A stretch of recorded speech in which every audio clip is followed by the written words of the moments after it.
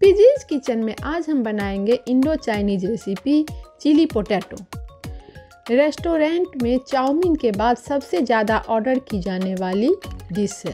इसे घर में भी हम बहुत आसानी से बना सकते हैं। तो चलिए बनाते हैं चिली पोटैटो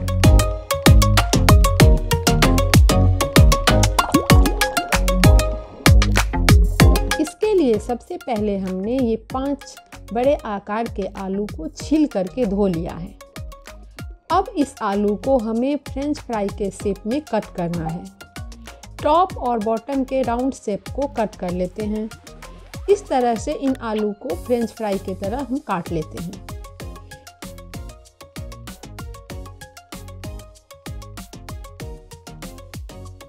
इन कटे हुए आलुओं को ठंडे पानी के एक बाउल में हम रख देते हैं ताकि यह काला नहीं पड़े। गैस ऑन करके एक पतीले में हमने एक लीटर पानी को गर्म होने के लिए रख दिया है। पानी जब थोड़ा गर्म हो जाए तो हम इसमें डालेंगे एक चम्मच नमक और एक चम्मच विनेगर। विनेगर हम इसलिए डालते हैं ताकि आलू टूटे नहीं। एक उबाल आने के बाद इसमें हमने सारे आलू को ट्रांसफ़र कर दिया है।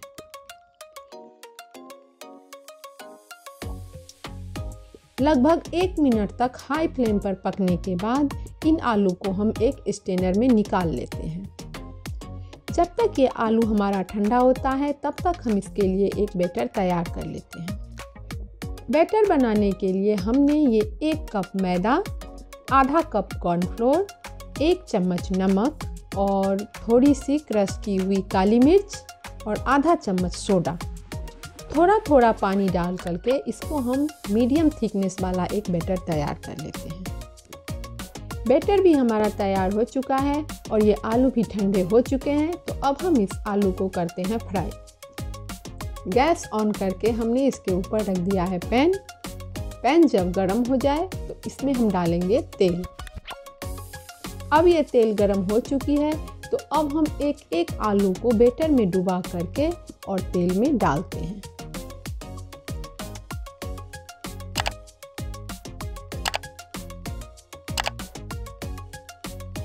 इस आलू को क्रिस्पी बनाने के लिए हम दो बार फ्राई करेंगे। पहली बार जब ये थोड़ा सा लाइट फ्राई हो जाए तो इसे हम निकाल लेंगे। फिर जब ये ठंडी हो जाए तो फिर से हम इसे गोल्डन होने तक फ्राई कर लेंगे। ये आलू एक बार फ्राई हो चुके हैं। थोड़ा ठंडा होने के बाद दोबारा हम इसे क्रिस्पी बनाने के लिए एक बार और फ्राई कर लेते हैं।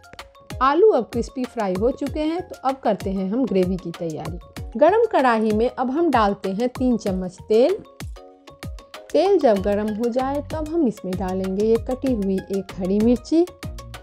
हरी मिर्ची थोड़ा चटक जाए तो इसमें हम डालेंगे ये कटी हुई एक चम्मच अदरक। अदरक को भी थोड़ा फ्राई कर लेते हैं। जब अदरक फ्राई हो जाए तो हम डालते हैं ये बारीक कटी हुई लहसुन।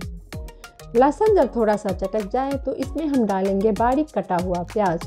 इसे भी थोड़ी देर अच्छी तरह से भून लेंगे। प्याज जब हमारा लाइट ब्राउन हो जाए तो हम इसमें डालते हैं कटे हुए स्प्रिंग ओनियन और मोटे आकार के कटे हुए प्याज और तीनों तरह के शिमला मिर्च। जैसा कि हम जानते हैं चाइनीज़ फ़ूड में ज़्यादा वेजिटेबल को पकाया नहीं जाता है।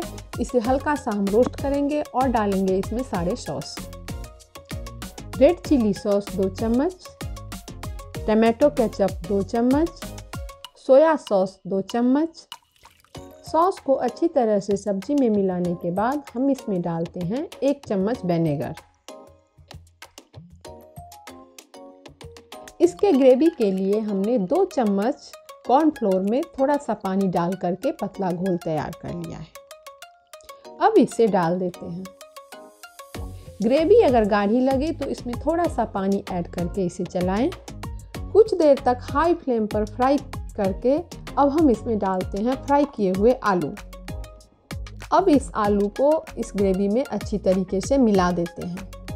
सबसे आखिरी में हम डालते हैं आधी चम्मच नमक, ताकि हमारी सब्ज़ियाँ क्रंची रहे। नमक कम ही डालें, क्योंकि सॉस और आलू दोनों चीज़ में नमक है। इसे ज़्यादा देर तक फ्राई नहीं करना है, नहीं तो आलू सॉफ्ट हो जाएँगे।